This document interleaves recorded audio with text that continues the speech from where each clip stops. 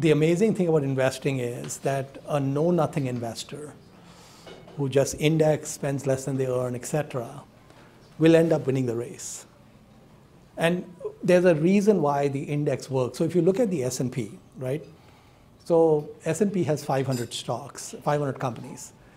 When you look at the individual names of these companies, they're very successful. I mean, that's how they got on that list.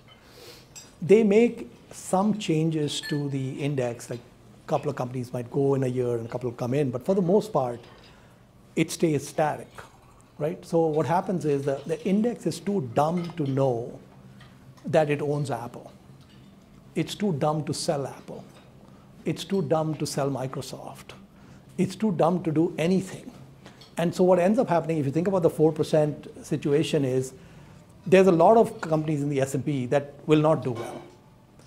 But that those don't matter because the thing is, it's got some that will do exceptionally well. It has NVIDIA in there, right? It's going to have the full run of NVIDIA, which nobody else is going to have.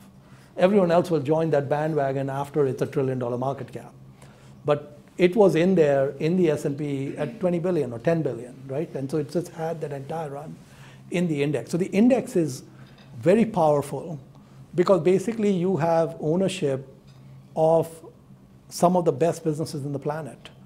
And they're running and they're doing their thing and you don't have to think about it. And it's tax efficient and everything. So like I said, there's three variables, right? So one variable that you, you just put that away. The, the other variable is, you know, spending less than you earn, you have more control over that. And the runway, start as early as you can, you know, so.